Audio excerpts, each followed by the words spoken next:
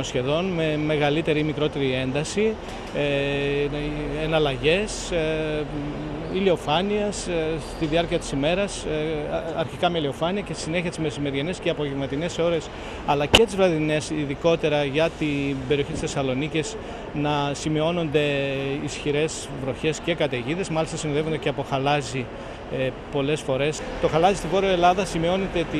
θερμή εποχή του έτους, όπως λέμε, δηλαδή από τον Απρίλιο μέχρι τον Σεπτέμβριο. Ε, οι χαλαζοκαταιγίδες ε, εμφανίζονται κυρίως με μεγαλύτερη ένταση και χαλάζι, δηλαδή μεγάλο μεγέθος, εμφανίζεται κυρίως τον Μάιο και τον Ιούνιο. Είναι πιθανό αυτό ε, να έχουμε μια παράταση δηλαδή, της καλοκαιρινής περίοδου. Οι υψηλότερες θερμοκρασίες, τουλάχιστον τα τελευταία χρόνια, ε, σημειώνονται τον Αύγουστο, ενώ η καλοκαιρία με σχεδόν καλοκαιρινές καιρικές συνθήκες διατηρούνται και το Σεπτέμβριο και γενικά έχουμε μια επιμήκυση, θα λέγαμε, της ε, καλοκαιρινής περίοδου. Ε,